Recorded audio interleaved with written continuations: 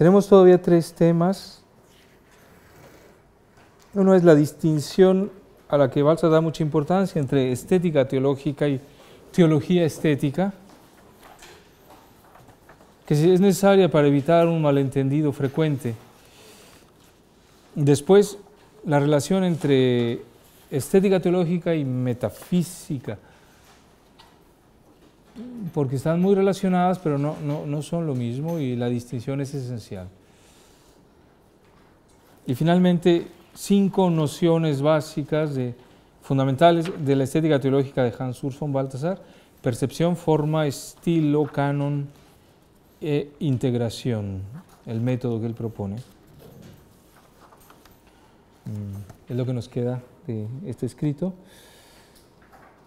Entonces vamos a eh, entrar en el primero de ellos, estética teológica y teología estética.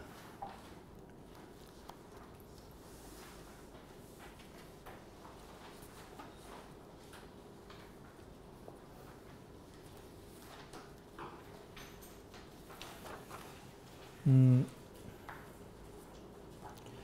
Lo, primero es afirmar que la teología no puede renunciar a lo estético.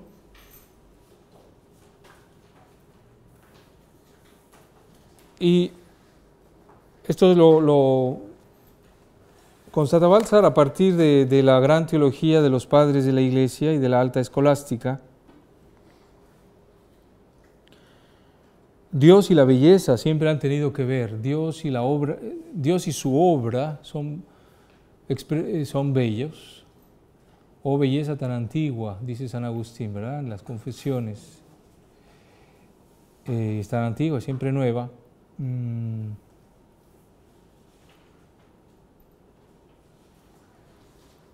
La obra de Dios, la creación, es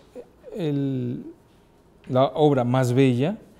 La obra bueno, sería la más bella sin la salvación. La salvación es más admirable aún, como dice el, el, pregón pascual, que admirablemente creaste al hombre y más admirablemente aún lo redimiste. Admirable, o sea, hay una belleza en la obra de Dios que sobrecoge. Por eso estamos en la página 32, podemos leer este pequeño párrafo. La antigua teología de los padres de la Iglesia y de la alta escolástica ha hecho inequívocamente la alternativa en favor de la estética, a partir de la doble propuesta de una teología de la creación que retribuye eminentemente el valor de la belleza a la creación y esto también de modo inequívoco al principio creador, y de una teología de la salvación de la perfección final que atribuye a la más alta obra de Dios también la suma eminente de todos los valores de la belleza, sobre todo por lo que se refiere a la forma escatológica de esta. La obra de Dios es bella, el principio de ella, Dios mismo, tiene que ser calificado como bello, máximamente bello, supremamente bello. No podemos renunciar entonces. El intento de una renuncia a lo estético es, está en relación con el prejuicio luterano de, separar la fe de toda instancia cultural que pretenda un alcance absoluto. Así como hay que renunciar a la metafísica, hay que renunciar a la estética. Mm, el protestantismo clásico renuncia a la filosofía en el sentido de que la filosofía no tiene nada que decir sobre Dios. Sobre Dios habla la Biblia y nada más.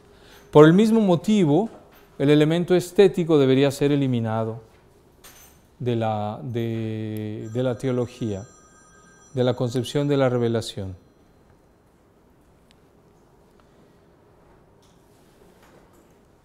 Los padres, en cambio, no, no hacen eso. Mm.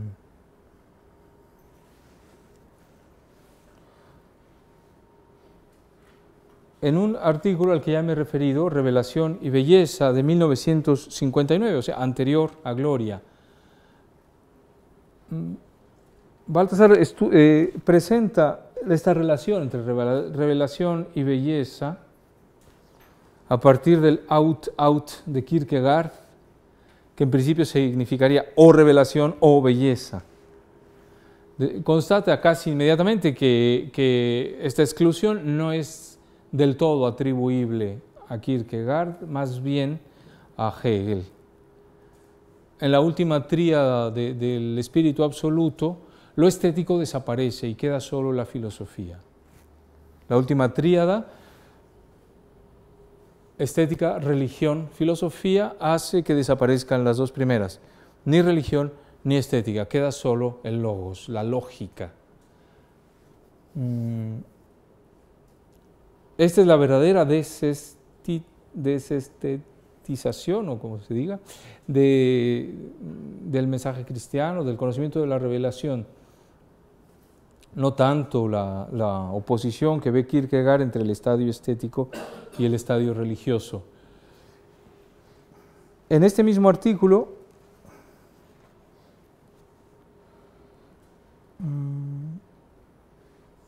Balsar constata un momento estético en la revelación misma, así lo llama.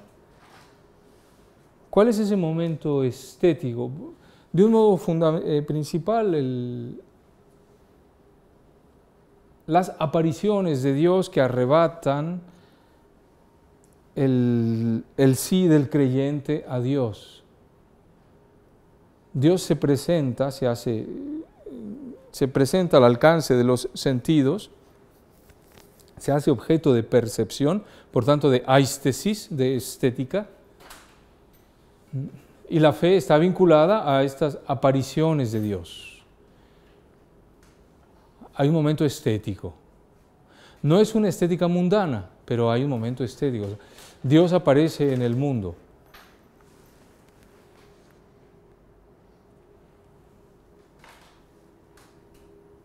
Por eso, si hay un momento estético en la revelación, tiene que haber un momento estético en la teología y siempre lo ha habido.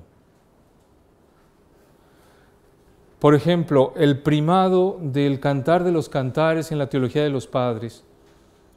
El cantar es el libro por excelencia, el libro de los perfectos, dice Orígenes, y a partir de él los comentarios se suceden, Gregorio de Niza hasta San Buenaventura, San Juan de la Cruz. Eh, el cantar de los cantares es ese poema erótico del amor de hombre y mujer, se convierte en paradigma de la relación con Dios, y por eso entra en el canon de la Biblia. Siempre se podría preguntar qué hace ese libro dentro de la Biblia, ese libro que no habla de Dios, habla del amor de hombre y mujer. ¿Por qué? Eh, se acentúa el eros, que es estético, o sea, es el arrebato de, de, los amantes, es, eso es la estética. El, mm. El amado tiene una autoridad por sí mismo, como la belleza. La belleza impone sin necesidad de argumentar y sin necesidad de usar el poder. Es majestuosa por sí misma, igual que en la experiencia humana del amor, el amado impone, liberando. No impone sometiendo, eh, sino liberando. Mm.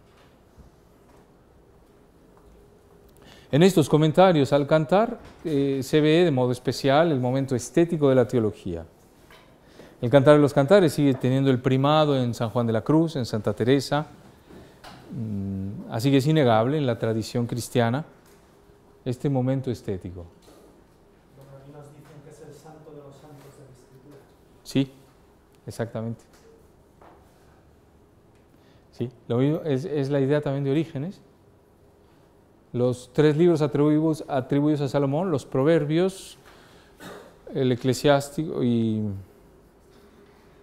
el cantar, serían, según Orígenes, el libro de los principiantes, los proverbios, el de los proficientes o los aprovechados, el, ahora, eh, sabiduría, no eclesiástico, porque el eclesiástico es de Sirac, Jesús hijo de Sirac y el libro de los perfectos, el cantar.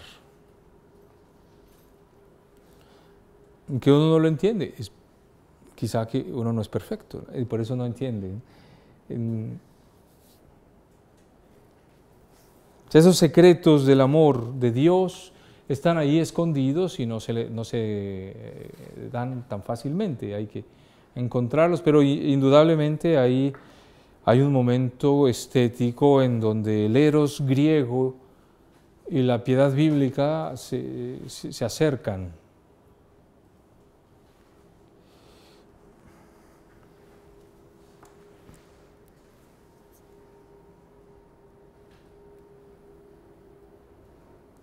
Bien, entonces en la teología patrística, la teología medieval, se da sin duda este elemento estético.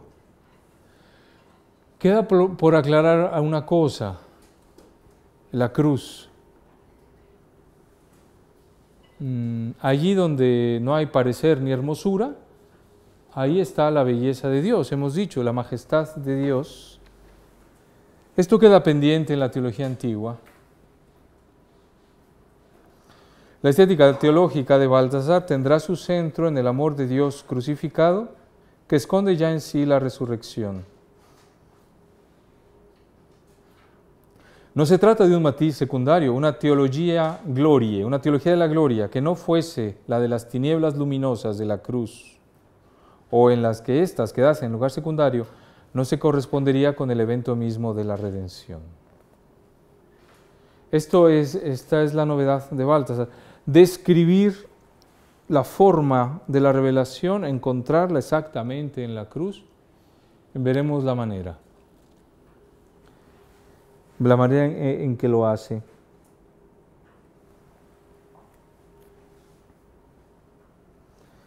Claro que aquí hay una paradoja, como en donde no hay parecer ni hermosura, cómo está ahí la belleza, la majestad de Dios. Mm. Aquí es donde Balsar distingue entre estética teológica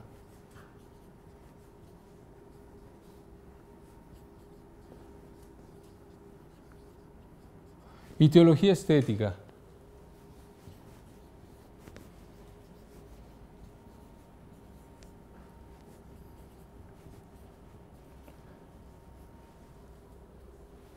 Estética teológica significa el modo en que Dios tiene de presentar su, gloria.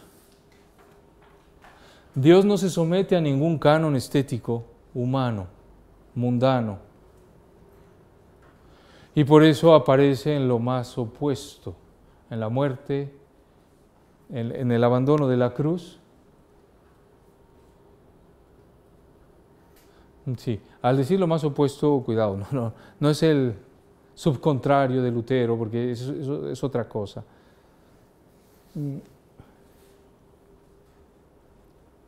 Teología estética, en cambio, es la proposición del misterio de Dios como bello, pero según criterios de la teología de la estética mundana. O sea, Dios es bello según nuestros criterios de belleza. Este, este, es el intento de la teología romántica. Chateaubriand, por ejemplo, en Alemania, también un poco Johann Adam Müller, grandes autores católicos que quieren hacer esto, quieren presentar la belleza del misterio divino, pero desde categorías estéticas mundanas. Dicho sencillamente, sería como decir que Cristo es el más bello de los hombres. Hay hombres bellos, hombres menos bellos, el más bello es Cristo. No, no funciona. No es así. ¿Sí? Como un buen predicador decía a, un grupo de chicas, ¿queréis novio? Pues os presento al mejor, Jesucristo. No, es quizá el peor. Nadie mete más líos a la esposa que Jesucristo se ve en Apocalipsis 12, ¿no? La pobre mujer abandonada, corriendo, amenazada por el dragón. Ese es el mejor, pues. O sea, eh, sí, es el, pero son otras categorías, no son las categorías mundanas. Eso sería eh, teología estética. O, como ocurrió en Alemania un poco para contrarrestar el influjo de, de la victoria del nacionalsocialismo, Cristo es el verdadero Führer, el verdadero conductor. Führer es el guía, ¿no? En alemán. Eh, esta divinización de Hitler, ¿sabes? El, nazismo venció en 1933 en, en Alemania. Y, era un gran problema para los católicos por, por, ese entusiasmo que transmitía el partido a los jóvenes. Y para contrarrestarlo, algunos buenos católicos proponían a Cristo en ese papel. ¿Sí? No, no es ese el papel, es otra cosa. Eso sería teología estética. ¿Sí? Según las categorías estéticas mundanas de este mundo o metafísicas, no, al decir mundano no quiero decir algo negativo. Eh, no, no, algo profundo, serio, una estética metafísica platónica seria, aplicadas al misterio cristiano no funciona. Ahí es donde se da, ahí donde se dan los choques con, con, la seriedad que proponen los protestantes, eh, con razón. no, se puede banalizar la cruz diciendo, eh, poniendo unas cuantas flores. No, la cruz es verdad, es abandono, es, es hundimiento, es sangre derramada. Mm, el Cristo de Grünewald es verdad, no, no, no sé si conocéis, Balsa lo aprecia mucho. Es, tremendo. Bueno, eso también tiene que entrar de alguna manera. En, la época de Grünewald, siglo que es 14, 15, muchos lo intentaban y salía fatal. A Grünewald le quedó bien, yo creo. Esos Cristos doloristas pueden ser un fracaso estético, pero el, tríptico este de Colmar, está en Colmar me parece, eh, eh, consigue, eh, no sé si tenéis presente, esa imagen de Cristo crucificado, deformado, con las pústulas de la peste, era la época de la, de la muerte negra, o cómo la muerte negra, la peste negra, murió la, muchísima, más de la mitad de Europa, creo, ¿no? de la población europea. Mm. Guardini aprecia muchísimo esta, esta, este cuadro. Mm.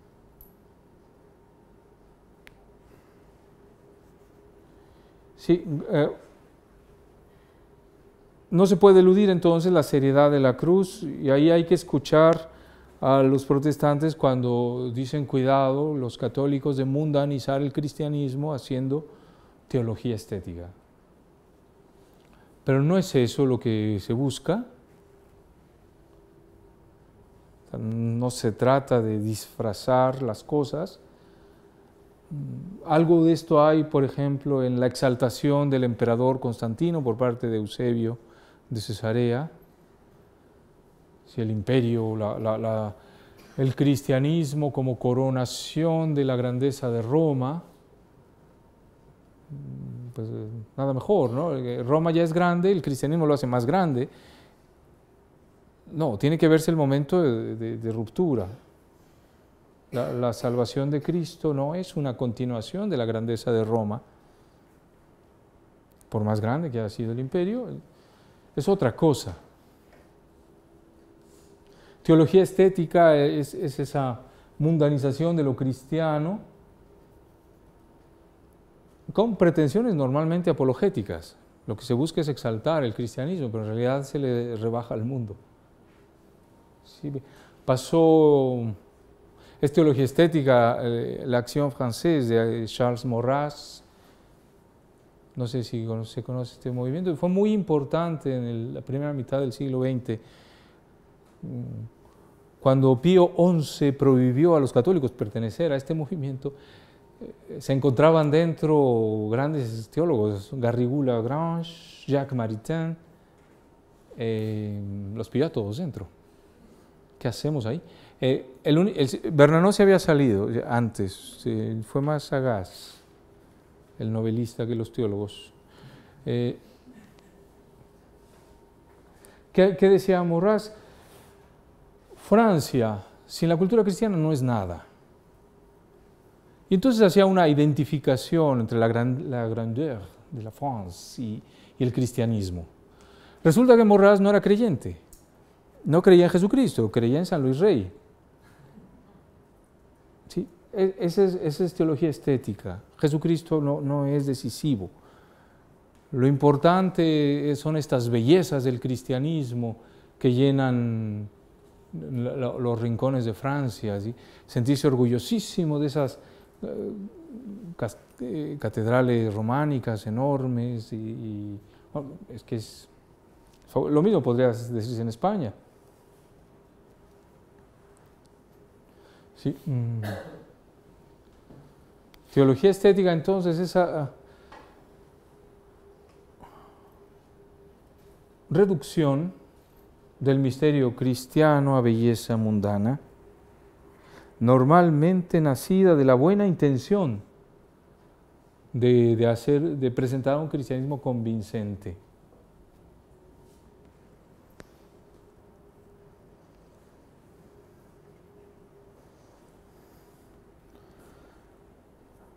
Sí. El Cristo amigo de todos, simpático, que, se supone que va a traer a todos. Aquí es preferible Chesterton cuando dice, Chesterton constata que normalmente se piensa que el Jesús de los evangelios es muy dulce y el de la iglesia muy severo. Jesús es eh, simpático, atento con los hombres. El de la iglesia es, mm, es duro, moralista, exigente. Chesterton dice que más bien es al revés. La iglesia ha dulcificado mucho a Cristo.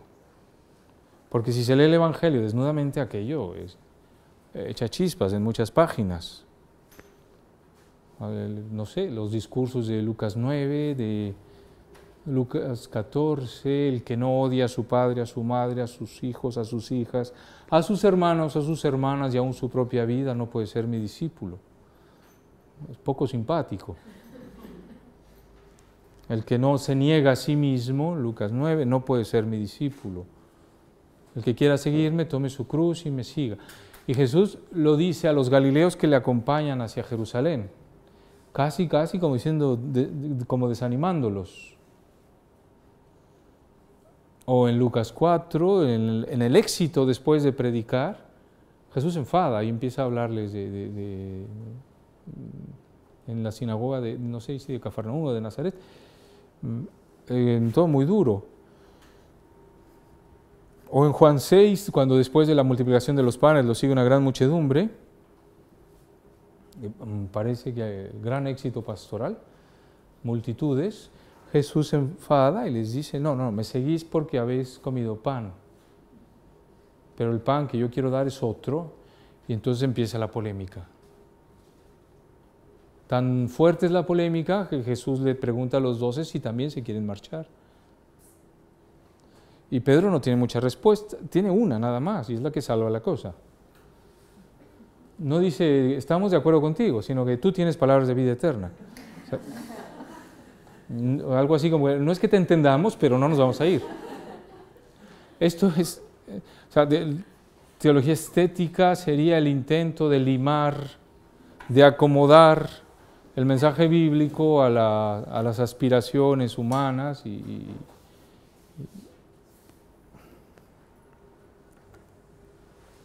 quitar las aristas.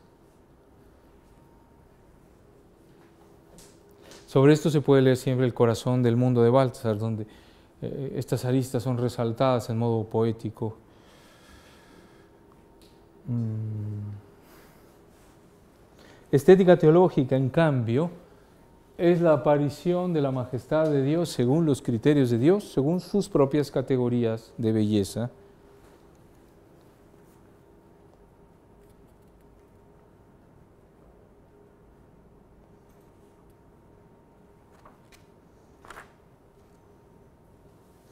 Bien, entonces, Baltasar constata que la teología se encuentra entre, entre la posibilidad de una teología estética, que no, no, es satisfactoria, una des, des lo siento, yo tengo un poquito de dislexia y, no sale esta palabra. Si alguien la sabe decir, desestetización. Exactamente. La no estética de la teología es otra opción, la opción protestante. Te, ti. Ah, gracias.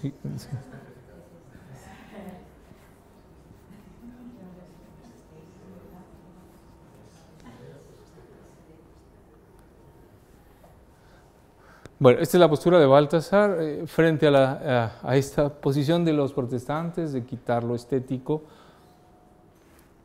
o frente al intento de la del romanticismo cristiano de una teología estética que, como hemos visto, no es satisfactorio. Mm, concibe la... Él dice que no, no es idea suya, sino de Matías Josef Scheben, el gran teólogo alemán del siglo XIX, que superando el romanticismo cristiano alemán, propone por primera vez mm, una estética teológica, la belleza de los misterios cristianos a partir de, de la escritura, de las categorías de la escritura. El, un título de Sheven es muy expresivo, Las maravillas de la gracia divina. No sé si conoces, este libro existe en español, creo, Herder. Las maravillas de la gracia divina es de la mejor teología del siglo XIX. Sheven es un patrólogo, con buen conocedor de Santo Tomás, pero más de la patrística, o sea, más dentro de la patrística y de la escritura. Su otra obra grande, Los misterios del cristianismo, siempre tienen esta, esta óptica de estética teológica. Se presenta a, la majestad de Dios en los misterios de la salvación, tal como la, como la escritura los conserva.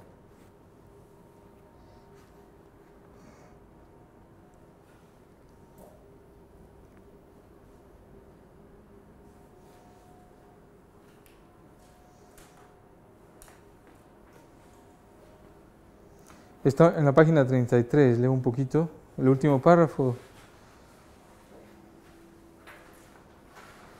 Esta opción, que es la de la estética teológica, Balzar la atribuye a Matías Joseph Scheven como a su fundador, mediante su teología de las maravillas de la gracia divina, que es la única que sustituye a la teología estética del romanticismo. En todo caso, noble intento por evitar la desestetización total. La visión de Sheven, sin embargo, tiene el límite de haberse asentado sobre una separación entre naturaleza y sobrenaturaleza llevada más allá de la justa distinción entre natural y sobrenatural, con el resultado de una cierta ahistoricidad del cuadro teológico. El punto firme es la gracia, a partir del cual el pecado y la perdición de la existencia mundana solo entran en consideración de modo puramente indirecto. O sea, el límite de, la estética teológica de Sheven es que no se hace cargo del misterio de la redención. La gracia es hermosa, la salvación es bella. Pero el punto central, el de la cruz, no es tratado. No es negado, no, no es tratado, no entra en lo estético. Sheven es un gran maestro,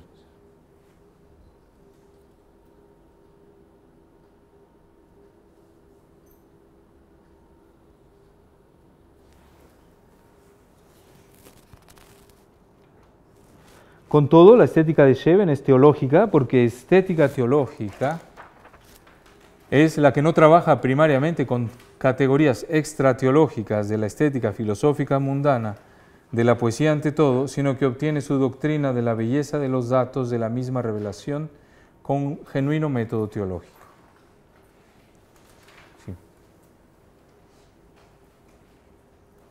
Se vuelven eh, adquieren un, carácter estético, conceptos como alianza del en el Antiguo Testamento, mm, eh, mm, exilio, profetismo, todo empieza a hablar de, de, de, una majestad de Dios que entra en la historia de Israel, en todos los conflictos, con todos los conflictos que esto implica, la fidelidad, infidelidad de Israel. Ahí está la buena batalla de Dios, de la gloria de Dios, como encontramos, por ejemplo, en Oseas. Eh, Oseas se tiene que, tiene que casarse con una prostituta, proféticamente tiene que denunciar la prostitución de Israel. Entonces no había monogamia, entonces una segunda vez se tiene que casar, pero ahora con una adúltera. era difícil ser profeta, entonces el, de nuevo el adulterio de Israel tiene que ser denunciado por la vida del profeta. Esto mundanamente no es hermoso, no, pues es una desgracia, pero el que Dios se despose con los adúlteros, que somos nosotros, los pecadores, eh, empieza a adquirir una, una, belleza inaudita. El Dios que lleva una contradicción en el corazón, dice eh, Papa Benedicto en Deus Caritas Est. Dios parece llevar una contradicción interiormente. Repudiar a Israel o perdonarlo. ¿Qué debe hacer? Israel no ha sido fiel. Por un lado es evidente, habría que romper la alianza.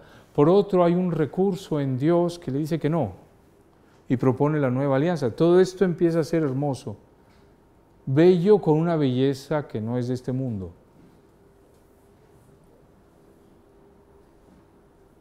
No es la belleza del templo de Salomón, eso no nos lo creemos nadie. Eh, por más grande que haya sido Israel en el tiempo de Salomón y de David, de David y de Salomón, pues no es nada comparado con Roma, con Atenas, con Babilonia, con, con las ciudades egipcias. Sí, Israel nunca, mundanamente, nunca fue un pueblo grande como decía San Agustín cuando empezaba a acercarse a la Biblia. Es más interesante la historia de Roma que la de los jueces de Israel, que los pleitos con las tribus cananeas no, ofrecen gran cosa. ¿no? Mejor la guerra de las Galias. ¿sí? no es teología estética lo que ahí se propone, sino una, la majestad de Dios ha bajado una alianza con un pequeño pueblo en donde Dios se juega su divinidad. En fin, mm, de esto ya estuvimos hablando.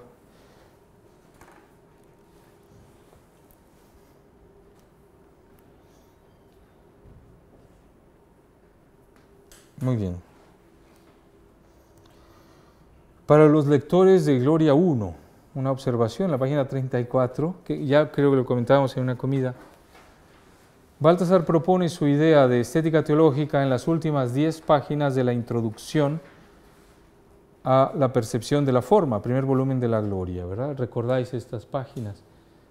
Eh, la traducción española lo pone bajo el título de apéndice y es todo lo contrario, no es un apéndice, es la propuesta de Baltasar.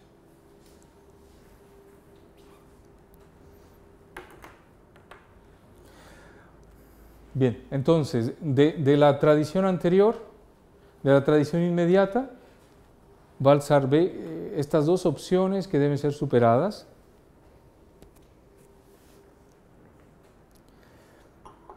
Siguiendo el camino abierto por Scheven, se decide por la estética teológica y la, propone en estas diez páginas de, eh, de su finales de la introducción.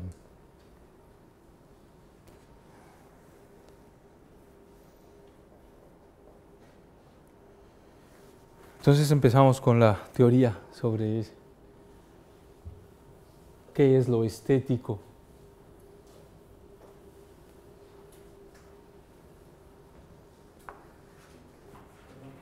¿Sí? distinción entre estética teológica y teología estética es casi Sí. Es, y, y- y la gran tentación es, eh, quizás sobre todo para nosotros, para nuestro tiempo, o particularmente, o al menos es la que nos toca, eh, es la, la teología estética. O sea, el, el, digamos, usar categorías del mundo para hacer simpático el Evangelio. Yo creo que sí. No sé, estamos implicados en un proceso de formación de una universidad y además de en, en línea de frontera y tal, es como, como intentar disfrazar la crudeza del misterio eh, con, eh, con el lenguaje del mundo. ¿no? Y además con buena intención, porque es para ser comprendidos por el mundo.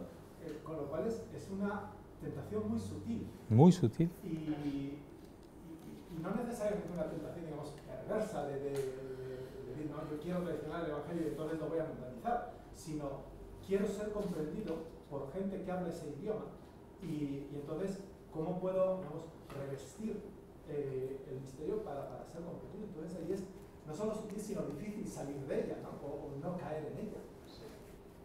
Pues, Yo creo que es muy difícil. sí. es muy difícil. Mm, Yo lo veo mucho en el mundo del, del arte también, ¿no? Normalmente siempre cuando vemos, eh, yo qué sé, el acercamiento a la literatura, a la música, a la ópera, lo que sea, ¿no? normalmente tenemos el gran arte y dices, bueno, pues es que esto lo intentamos trasladar, o sea, a los niños o al público no sé qué. Al final lo que acaban haciendo es intentando acercar lo grande al hombre, ¿no? Que no, cuando tiene que ser lo contrario, ¿no? Es el hombre el que se tiene que acercar a esa realidad. ¿no? Es- yo creo que es, bueno, por encontrar un símil en el- Ujú. en el Sí. arte, ¿no?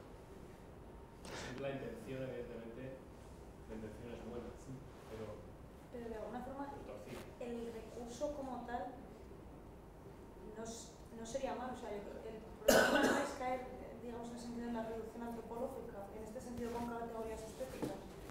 Que si esto mismo lo aplicamos, por ejemplo, que no, no como cuando ha dicho que no tiene las categorías mundanas, en el sentido que no tiene un sentido peyorativo. En el ámbito de, de la verdad, podríamos decir que, que sería la filosofía. El problema de la filosofía es que quiera convertirse en todo el saber, que quiera serlo todo. Pero, pero como tal, dentro de sus límites, no. o sea, Claro. Pero es que aquí hablamos de la revelación de Dios.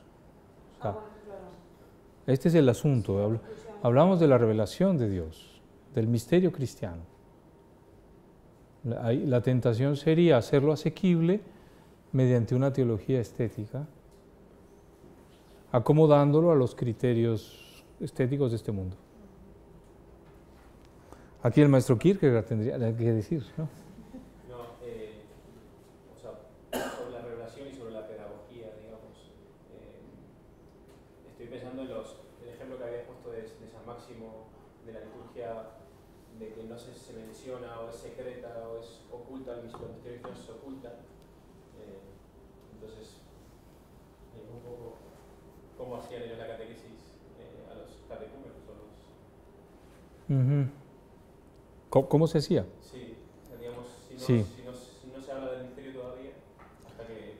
Sí, se hablaba intensamente de la conversión, se leía la escritura, el, el libro más, uno de los libros más usados era el eclesiástico, por eso se llama el eclesiástico, porque se usaba mucho en las asambleas cristianas eh, como para preparar, no, no sé si tenéis presente el eclesiástico, son muchos consejos eh, morales, piadosos, eh, de sabiduría, mm, hay algo de filosofía, sobre todo platónica. Es que yo estoy pensando justo en el, en, en el discurso de Diotima a Sócrates, que me parece que hay una propuesta pedagógica muy, muy potente, que le dice en un momento a Sócrates, eh, al joven Sócrates, que no se entera de nada, dice, eh, empieza amando un cuerpo, o sea, ama primero algo en concreto, ¿no? Y después pasarás a amar otra cosa, y después otra cosa, ¿no? Enamorarse de, pero, pero siempre empieza como de lo muy, muy concreto. Ah, ya entiendo, sí. Ok, eh, eh, entiendo estas dos últimas preguntas. eh, Es una mezcla de preguntas. sí, Muy y, mala, muy y- mala. no, no, no, no, está, está muy bien preguntado. Son- Son dos, es que me sirve para distinguir. Estamos hablando de eh, estética teológica y teología estética. Después hablaremos de estética teológica y metafísica, que es lo que os preocupa. Y, ahí tenéis razón.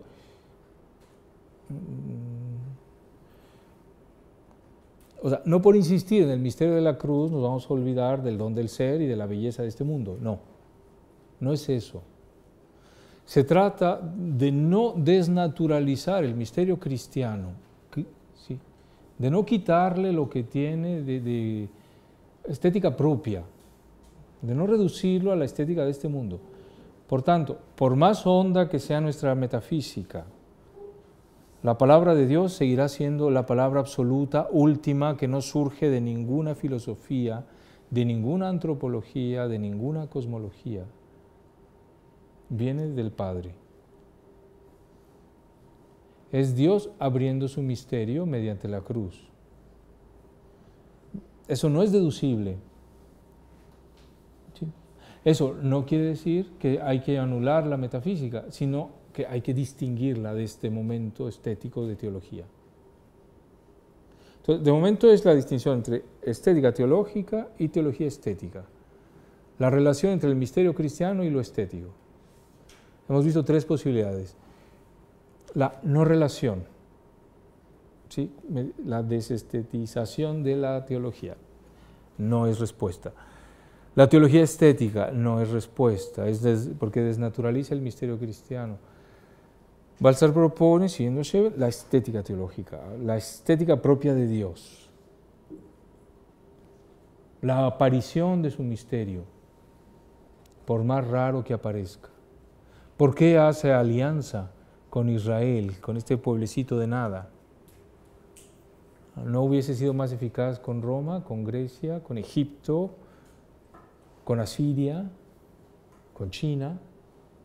grandes imperios, grandes culturas.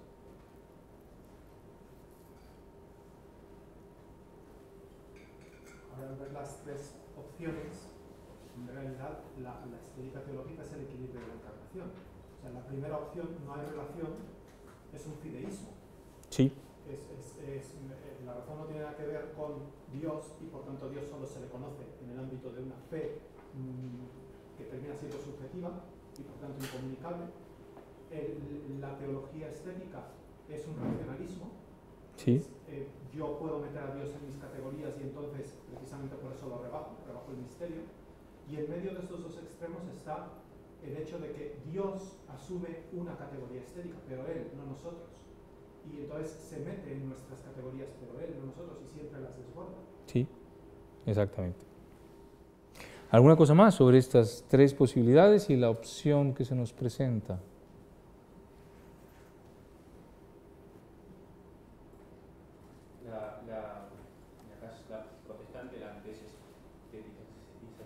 es fácil. ¿sí? Eh, es, al final es, es, una, es, una, dialéctica de nada de esto, ¿no? O sea, cortamos lo sano y... Sí. Sí. Eh, Lutero le da una dialéctica entre razón y fe, ¿no? Entonces, entre fe y mundo, entre filosofía y teología, que, a veces eh, es fideísta, pero muy pronto se convierte en racionalista. Hegel es protestante. En, Kant se dan las dos cosas. La razón pura no puede nada. La razón práctica puede todo. Puede fundar la ética eh, sin recurso a, ningún dios, a ninguna naturaleza, a ninguna ley natural. Es un maximalismo y un minimalismo respecto de la razón porque lo que se hereda es una dialéctica, eh, se ha roto una armonía.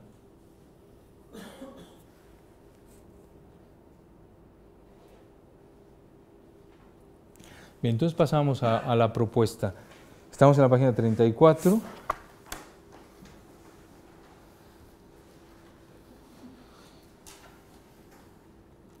Balsar propone su idea de este, esto ya lo leí, el siguiente párrafo, sin prejuzgar si se trata de filosofía o teología, en lo bello, expone Baltasar, se pueden distinguir dos momentos relacionados uno al otro, species o forma, et lumen, o, es, o splendor en latín.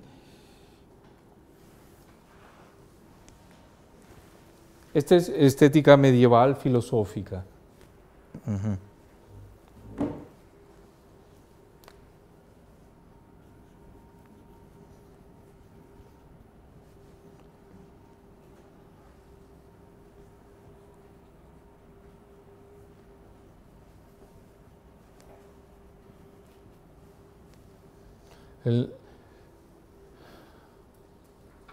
La belleza, el- el- lo que es bello, conjuga estos dos eh, elementos, species, o vamos a dejarlo en forma. ¿sí?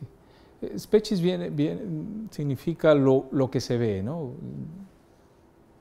De, es- des- de la raíz viene espejo, especular, eh, tantas palabras. Vemos algo y gracias a una luz. De modo que la luz es, nos hace ver el objeto y ella misma en cierto modo es objeto de nuestra visión. Vemos la luz, pero porque vemos el objeto. Si no vemos el objeto, no vemos la luz. Pero sin la luz no vemos el objeto. ¿sí? Las dos cosas se dan al mismo tiempo, o forma y esplendor. Tomando este par de conceptos de la estética medieval, Balsa lo propone en, e- en su teología estética como, lo voy a poner las palabras alemanas, esta va a ser muy recurrente, Gestalt, forma, y Tiefe, profundidad.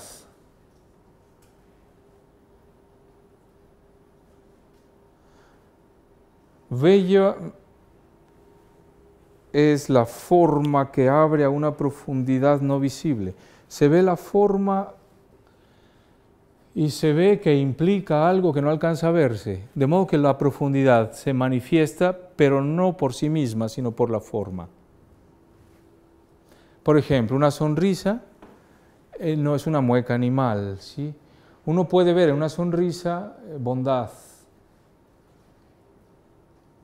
La bondad se ve, es una cualidad espiritual, no física, eh, pero se ve, aparece en el gesto del, rostro que sonríe. O una mirada triste. La tristeza en principio no es objeto de los sentidos, mm, pero se anuncia en los, a los sentidos. Esto es pura estética medieval todavía, ¿sí? Es lo que Santo Tomás llama sensibilia per accidens. Sensibilia propia son el objeto propio de cada uno de los cinco sentidos. El color, la vista, el olor, el olfato, el sonido, el oído, y así, ¿no? Los sabores, el gusto. Es más difícil definir el objeto del tacto. Sí, son muchas cosas, ¿no? Frío, caliente, etc. Mm, eh, ¿Se entiende? O sea, bello es algo asible, captable, definido, que remite a una profundidad. La profundidad no disuelve la forma, se, se anuncia en la forma,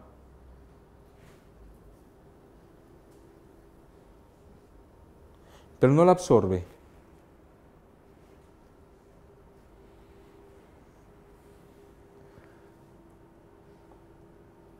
Nadie diría a, su amigo, me interesa tu bondad, no tu sonrisa, así que no sonrías, por favor. El, sí, sería absurdo.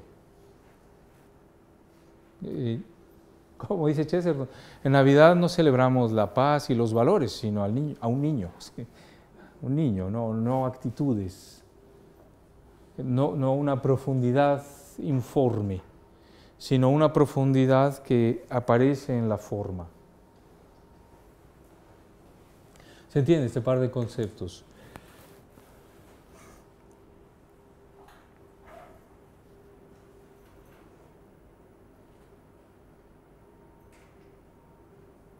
Sigo leyendo.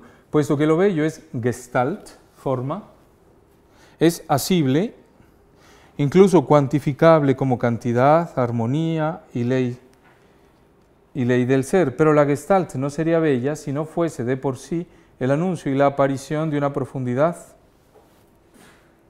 y de una plenitud que sigue siendo en sí misma y tomada abstractamente inasible e invisible. Así aparece el alma en el cuerpo, el espíritu en la historia, así aparece Dios en su creación y en su plan de salvación, en un ocultamiento aún más grande porque Él es infinitamente libre y superior al mundo. El Dios invisible aparece en la historia de Israel haciendo alianza, aparece personalmente en Jesucristo. ¿Hemos visto a Dios? Sí y no. Hemos visto a Jesús y al Padre, pero solo en Jesús.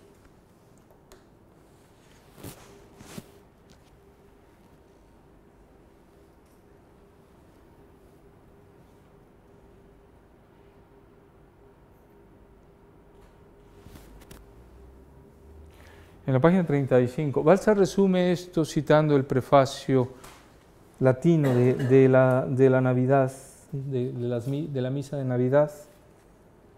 ¿Lo veis?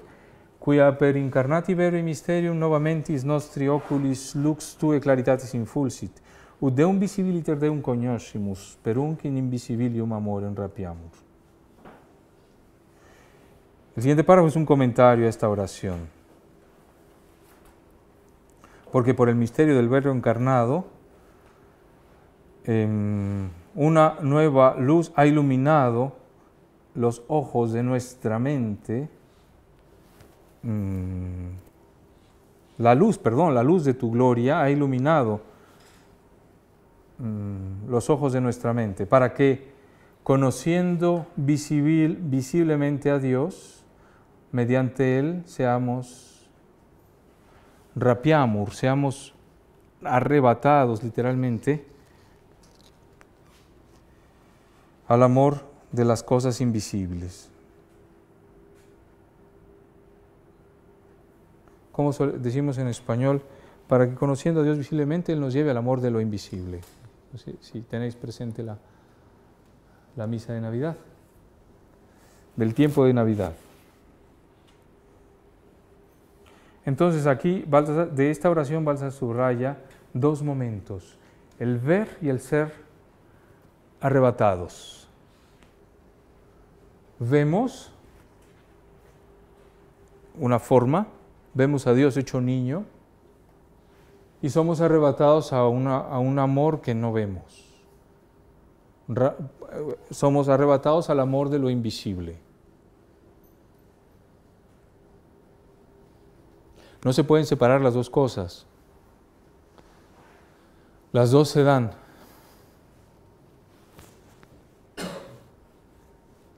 leo un poco, a ver si está bien escrito. Hay que subrayar, por un lado, el ver.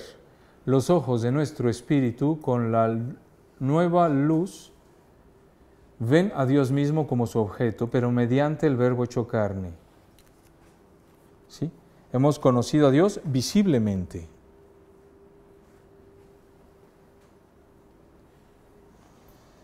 Y por otro lado, el ser, el ser raptados a lo invisible. Ver es la forma visible de Jesucristo que revela al Padre invisible.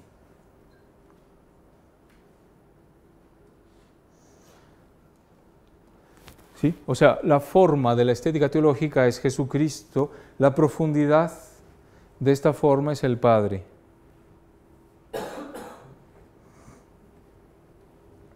Mm.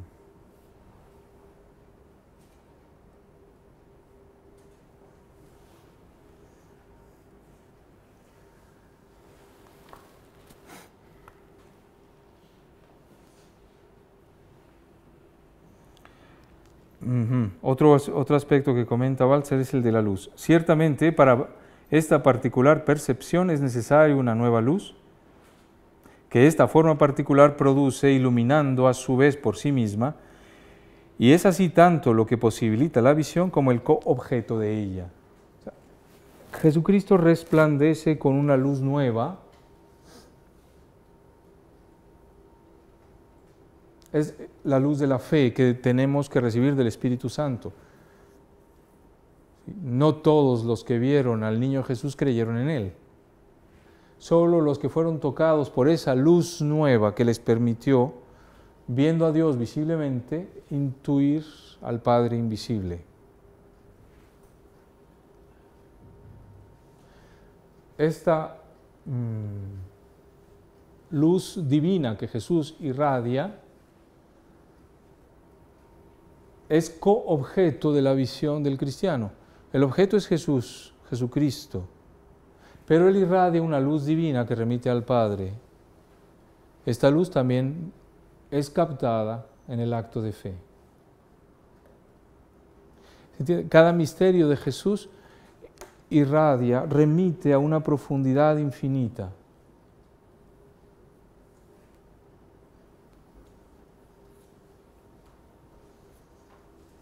Es por eso que los artistas cristianos no se cansan de reproducir escenas del Evangelio. O, los teólogos de comentarlas. Por ejemplo, la visitación de, de, Nuestra Señora su prima Santa Isabel ha sido comentadísima por los padres y por todos los autores espirituales, muchas veces reproducida en el arte. ¿Qué hay ahí? Pues algo insondable, dos mujeres esperando cada una a un niño, una mujer anciana, una mujer joven, Isabel y María. Isabel espera al Bautista, María espera al Salvador. El primero que reconoce al Salvador es el Bautista, por eso salta en el seno de su madre cuando oye la voz de María que saluda.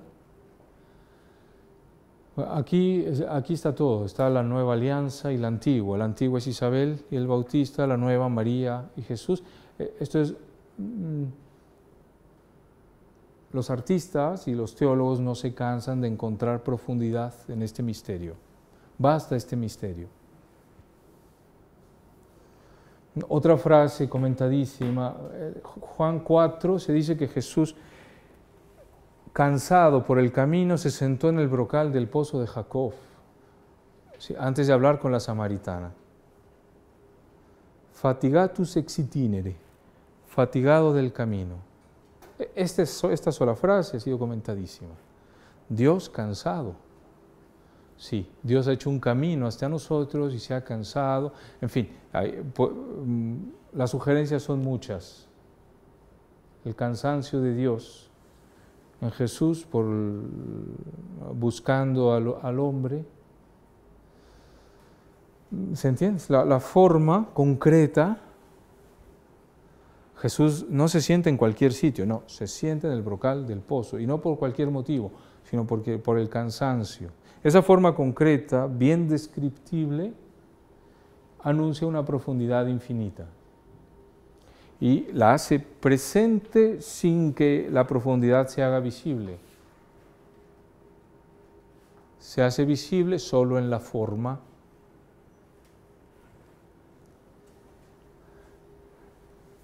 La remisión de una cosa a otra es la, es la percepción de la belleza.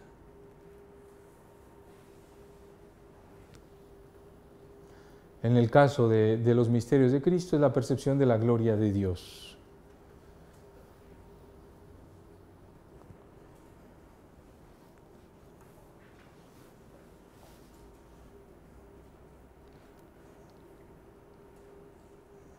Sigo leyendo. El esplendor que este misterio que se ofrece no puede ser en consecuencia nivelado con ningún esplendor estético de los que encontramos, nos encontramos en el mundo, sin que por eso sea incomparable en todos sus aspectos.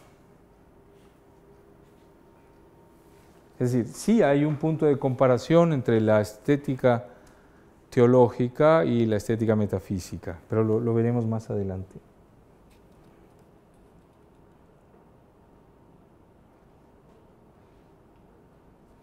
El, verbo rapiamur que usa el prefacio de Navidad es típico del eros. Sí, el eros arrebata. Aquí se introduce esta temática de eros junto a agape. Cita Baltasar en este punto a Dionisio Areopagita, el capítulo cuarto de los nombres divinos, el mismo que cita Benedicto XVI en Deus Caritas Est. Dionisio habla del eros de Dios. Dios tiene eros del hombre. Dionisio sabe lo que bíblicamente significa esto. Está usando terminología poética griega para describir el contenido de la Biblia. Se da cuenta de que es riesgoso. Lo dice. Me doy cuenta de que puede sorprender. Pero son los hechos de la Biblia. El Dios de la Biblia tiene eros, eh, tiene celos, por ejemplo. Dios es celoso, se enfada con la, esposa infiel, eh, eh, perdona, se, recordáis Osea 6, te llevaré al desierto, te hablaré el oído. La relación rota vuelve a empezar porque Dios tiene eros.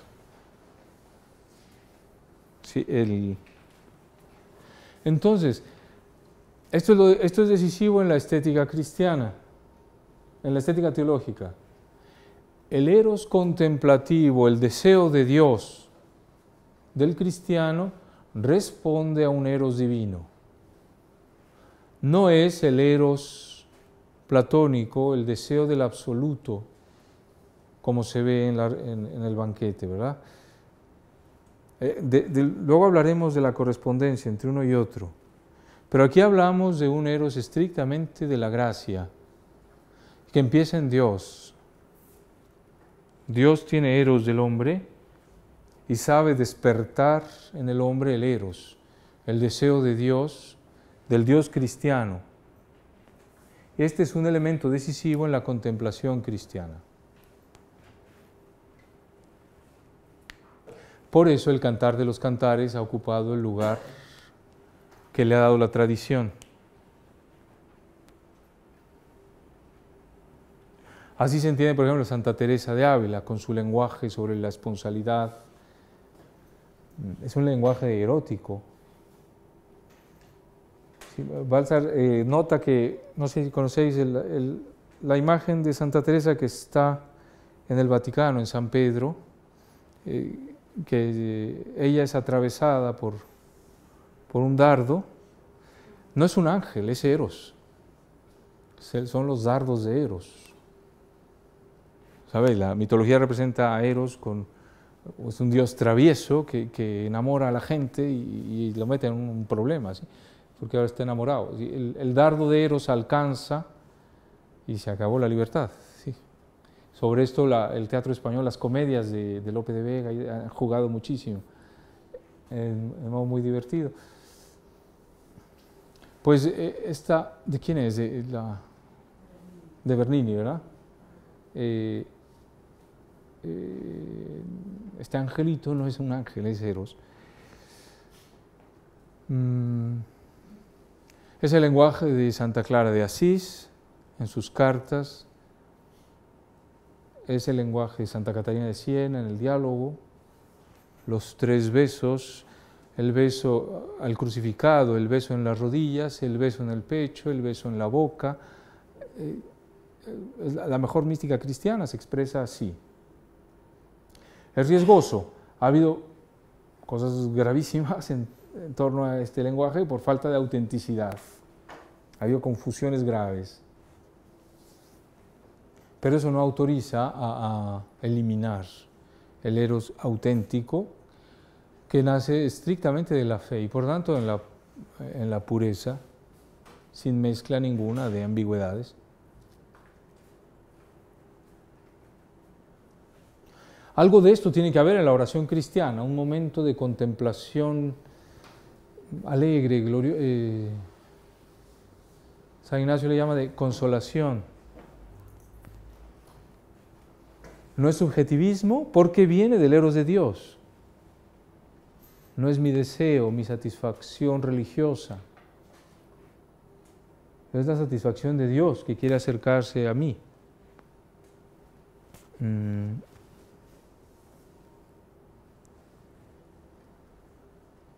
Si se elimina, la oración se convierte en puramente ascética. Es la crítica que ha hecho el Papa Francisco a la Compañía de Jesús de la Escuela Española, dice no sé si recordáis, una entrevista que concedió a la Civiltà Católica, la revista de la compañía en Italia, bueno, una de las revistas, eh, sostiene Ignacio era un gran místico, no una seta. Y la escuela española ha hecho de Ignacio una seta. De ahí ha surgido una imagen de, de la tradición ignaciana en donde los afectos no tienen importancia, cuando en realidad en el texto del libro de los ejercicios tienen muchísima importancia. La afectividad entregada a Cristo, el eros, que ha sido purificado. En la primera semana de los ejercicios se purifican los afectos desordenados y entonces los afectos se pueden concentrar en la persona del Señor.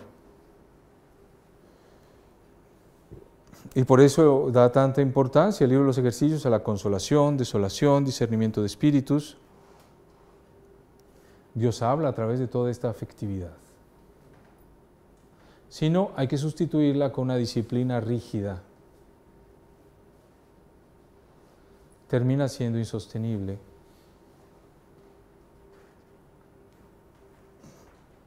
O, no, no, no, necesariamente insostenible, pero algo, se, algo de la contemplación cristiana se pierde. Por eso de repente uno encuentra a religiosos buscando un poco de alegría en el budismo zen o, en la mística judía medieval. no es tan raro, desgraciadamente. Claro, si les han enseñado así, pues al final buscamos por otro lado. ¿no? Lo mismo ocurre con, la, con los estudios de la Sagrada Escritura. Si el método histórico crítico es tan austero, si hace de la Biblia un problema crítico, nuestra fe no va a vivir de eso. Hay que buscar por otro lado. Y así nos encontramos también estas... Eh, algún profesor en el Instituto Bíblico decía, bueno, ya, esta es la exégesis, como veis, pues de aquí no sacamos nada para vivir, ahora, pues no sé, yo os propondría el Zohar medieval o, o de judío o algún otro apuntaba hacia New Age, el espíritu no va a vivir de ascética pura. E, eso sería desestetización. Sí. Bueno, ¿alguna pregunta de, sobre...?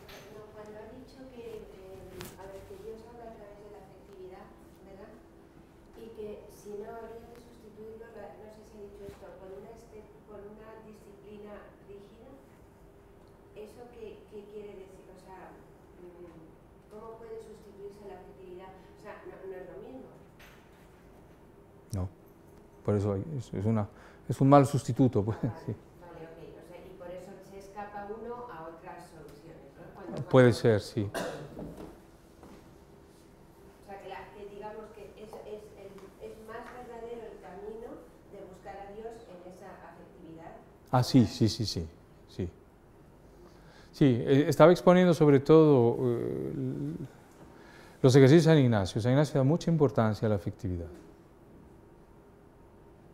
En el siglo, cuando empezaron los primeros jesuitas a predicar los ejercicios en Italia, un cierto número de cardenales hizo los ejercicios y decían, estos son maestros de afectos.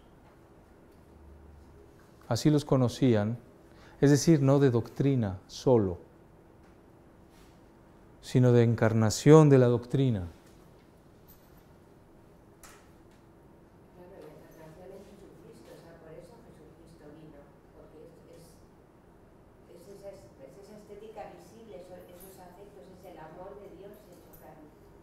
Sí, ese es Él. ¿Y el cristiano tiene experiencia de esto o no? Esto es afectividad cristiana. La experiencia, conocimiento experiencial, que no es subjetivista, porque es según la escritura, es según la revelación. Sí.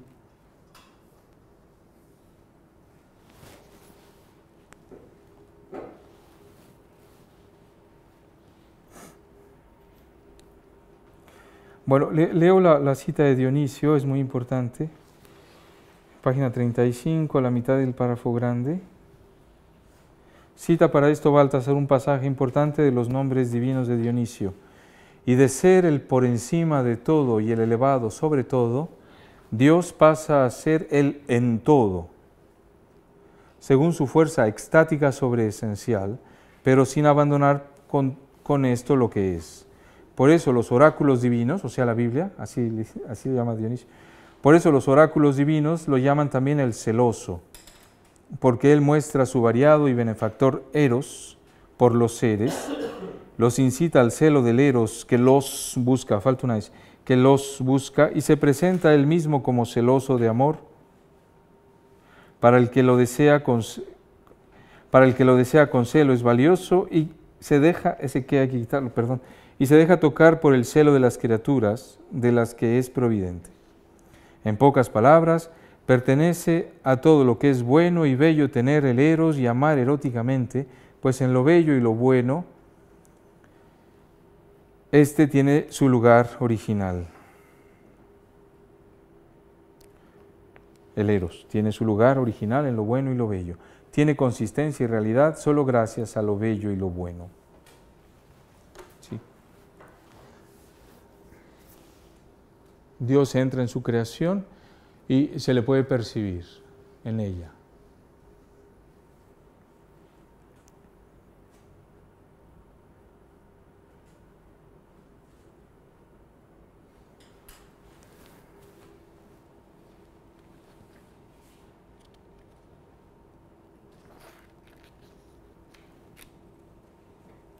Muy bien, ¿alguna pregunta sobre esta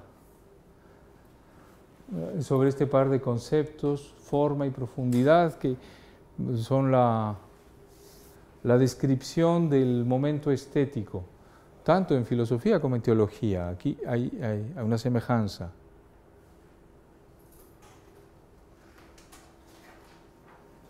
La, la cita de Dionisio eh, pone, muy, pone, pone muy claro ese contraste con el Dios de, de los filósofos, ¿no? de, de- del Dios impasible.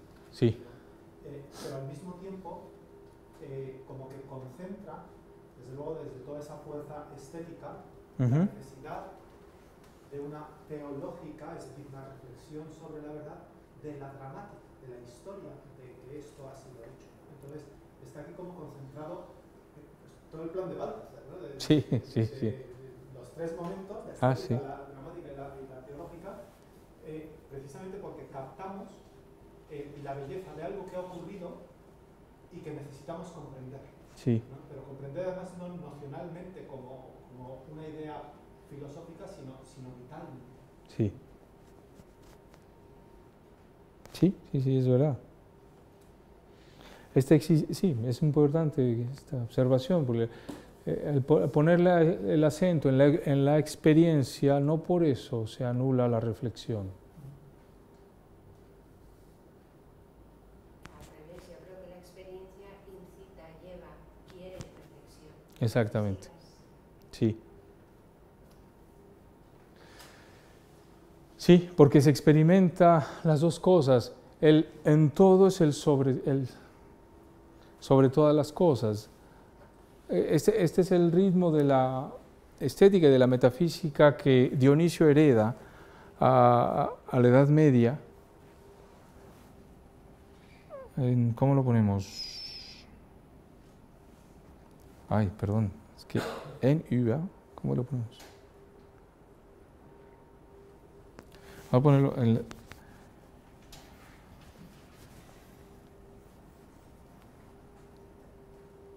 Dios está en todas las cosas y sobre todas las cosas. Es- este- estas dos preposiciones se alternan en Dionisio. En hyper, en griego, en por encima de.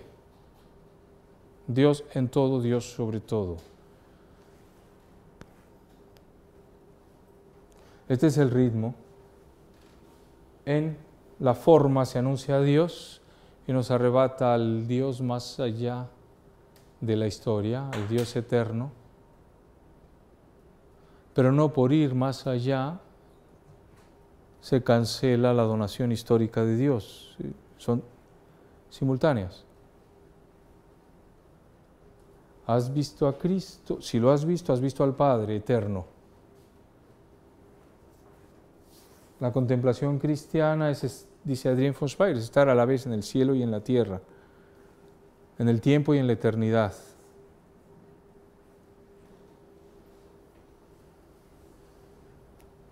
La oración cristiana podrá insistir, por ejemplo, que un orante cristiano insista en Dios en sí mismo, Dios sin el mundo, es legítimo, siempre y cuando no niegue a Dios en el mundo. Otro podrá insistir en Dios en el mundo. Es legítimo siempre y cuando no niegue a Dios por encima de todo. ¿no? Meister Eckhart, Hipper, Dios más allá, caminar hasta el límite de la creación y cruzar la frontera donde ya no hay nada más que Dios. Eso es, para él esa es la pobreza evangélica. En su sermón Beati Pauperis, a mí me gusta muchísimo. Entiendo que el riesgo sería entender que entonces la encarnación no era importante, cosa que no dice Eckhart.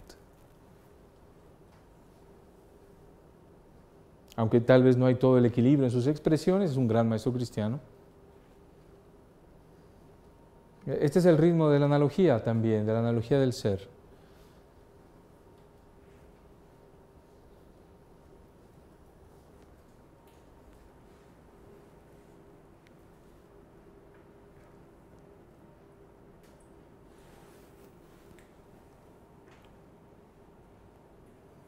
Muy bien.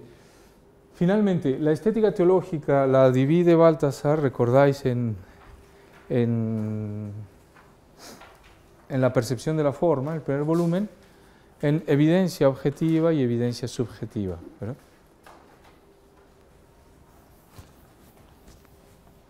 Porque de esta dualidad de conceptos nos hemos detenido en dos actos que, de la estética, ver y ser arrebatados.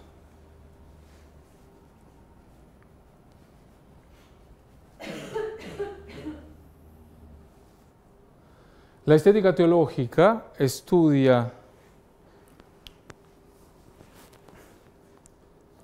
la evidencia subjetiva, o sea, cómo el sujeto, cómo el hombre puede ver a Dios. Las condiciones de posibilidad, en terminología kantiana, condiciones de posibilidad de la fe. ¿Cómo llegamos a ver a Dios?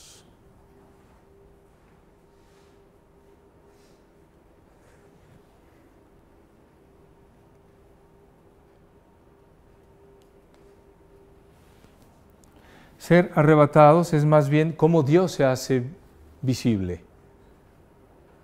¿Cómo es Dios? Ese Dios al que somos arrebatados y esto, es, esto le llama Balsar la evidencia objetiva. Evidencia subjetiva, evidencia objetiva.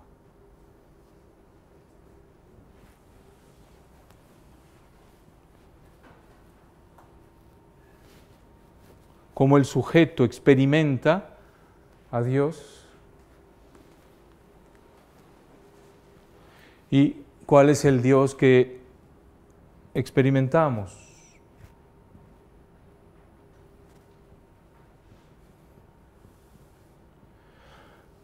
En, terminología moderna de teología equivaldría a teología fundamental, la primera parte, la evidencia subjetiva, y teología dogmática, la evidencia objetiva. ¿Cómo veo a Dios? ¿Quién es el Dios al que veo?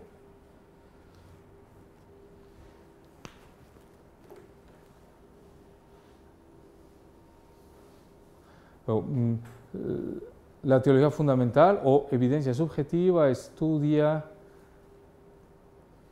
la revelación y la fe, son sus temas centrales. La teología dogmática estudia el Dios revelado quién es este Dios que se ha revelado y al que conozco por la fe. La estética para Balsar abarca las dos cosas y son inseparables. Aunque por nuestro modo imperfecto de conocer hay que estudiar una cosa y después otra, mm, son inseparables.